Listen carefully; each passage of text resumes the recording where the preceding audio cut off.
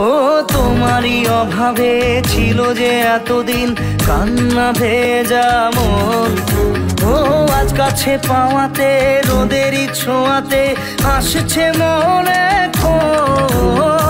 হয়তো ভগবান তোমাকে পাঠালো বাঁচাতে আমাদের। ও, তুমি যে সূর্য, তুমি যে শক্তি, আলো